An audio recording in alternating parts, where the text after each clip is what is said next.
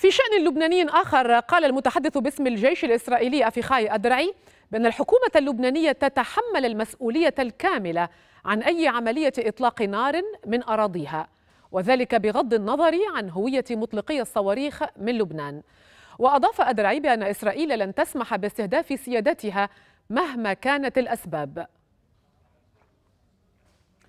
هذا الموقف يأتي بعدما أفاد مراسلنا في بيروت بأن خمسة صواريخ أطلقت من جنوب لبنان سقط اثنان منها في الأراضي الإسرائيلية. في حين سقطت ثلاثة في الأراضي اللبنانية. وبعد سقوط الصاروخين أطلق الجيش الإسرائيلي سبع قذائف على الحدود مع لبنان. من جهته دعا رئيس بعثة اليونيفيل التابعة للأمم المتحدة إلى وقف إطلاق النار على الحدود الإسرائيلية اللبنانية وممارسة أقصى درجات ضبط النفس لتجنب المزيد من التصعيد. وأضاف بيان اليونيفيل بأن البعثة لا تزال منخرطة بشكل كامل مع الأطراف من خلال قنوات الاتصال والتنسيق. كما أكد البيان بأن اليونيفيل تعمل مع الجيش اللبناني لضمان تعزيز الأمن على طول الحدود.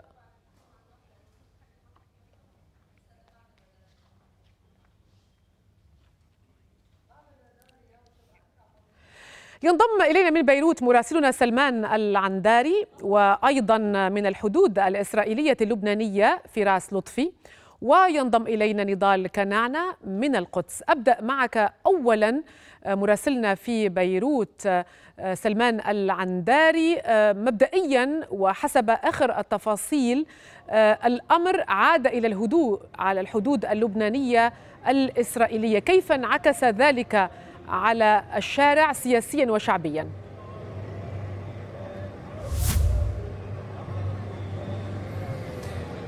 نعم فضيلة يعني عاد الهدوء بعد هذا اليوم من إطلاق الصواريخ من الجهة اللبنانية إلى الجهة المقابلة من الحدود بعد قصف مدفعي على دفعتين عند بعد قليل من إطلاق هذه الصواريخ وقبل نحو ساعتين أطلقت دفعة من القذائف من الجانب الإسرائيلي على الجانب اللبناني ومما تسبب ذلك ببعض الحرائق في المناطق الحرجية والمفتوحة. عاد الهدوء لا بيان للجيش اللبناني حتى الساعة ليسرد لنا التفاصيل.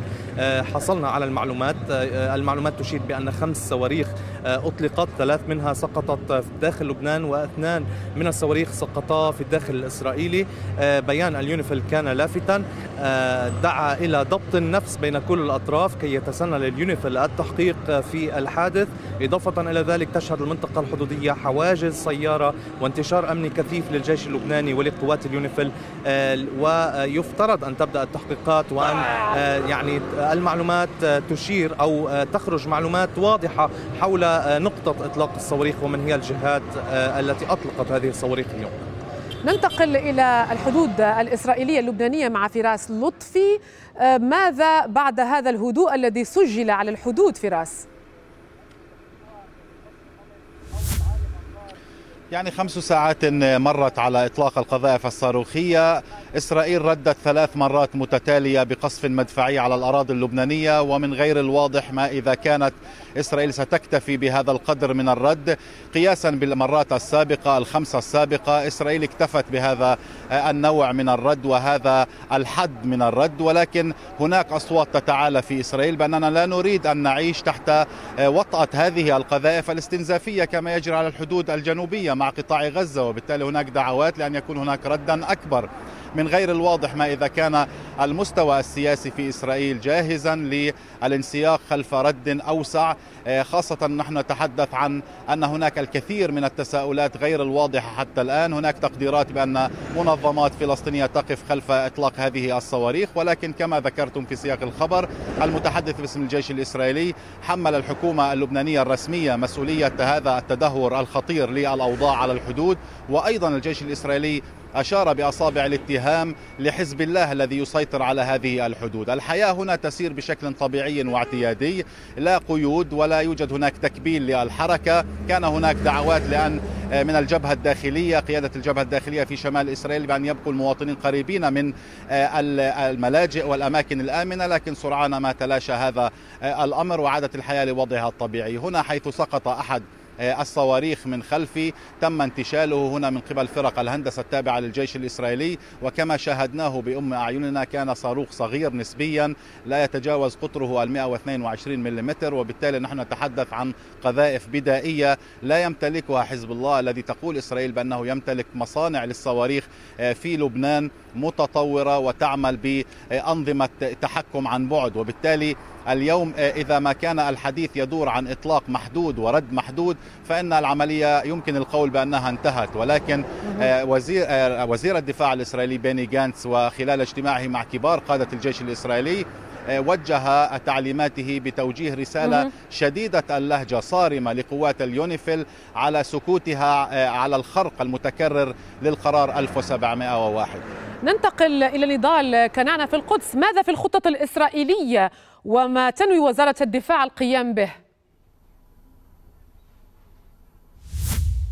نعم فضيلة عمليا يعني وزارة الدفاع الإسرائيلية والجيش الإسرائيلي كما يبدو يكتفي بهذا الرد بإطلاق القذائف على الأراضي اللبنانية أو على مصادر النيران كما يقول الجيش. بالنسبة لإسرائيل كل حادثة اليوم على الحدود الشمالية ما هي إلا رسالة إيرانية بغض النظر من الذي أرسلها حزب الله أم أحد المدعومين من حزب الله.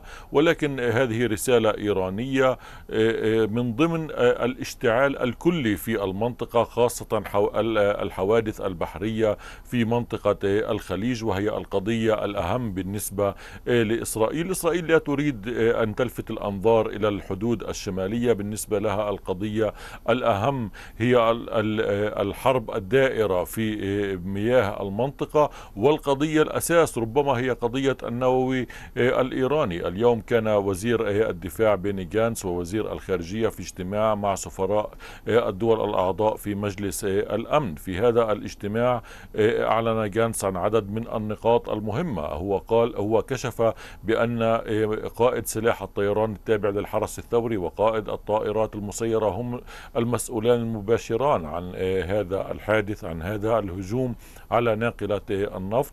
أيضا كشف جانس عن نقطة مهمة ربما هي الأهم أن إيران على بعد نحو عشرة أسابيع عن الحصول على مواد انشطارية كافية لتصنيع القنبلة النووية الإيرانية الأولى هذه هي القضية الأهم بالنسبة لإسرائيل وهي تدعو المجتمع الدولي للتحرك في المجالين أولا في وضع حد لتصرفات الحرس الثوري الإيراني في المنطقة ووضع حد للمسيرات التابعة للحرس نعم. الثوري وكذلك إعطاء رد ل قضية النووي الإيراني خاصة وأن إيران على وشك الانضمام إلى نادي الدول شبه النووية التي تستطيع صناعة قنبلة نووية خلال فترة قصيرة من اتخاذ القرار السياسي بذلك وهذا يمنحها نفس قوة الدول النووية تقريبا من حيث الردع. أشكرك نضال كنعنا في القدس وأشكر أيضا فراس لطفي من الحدود الإسرائيلية اللبنانية وسلمان العنداري من العاصمة اللبنانية بيروت. شكرا لكم.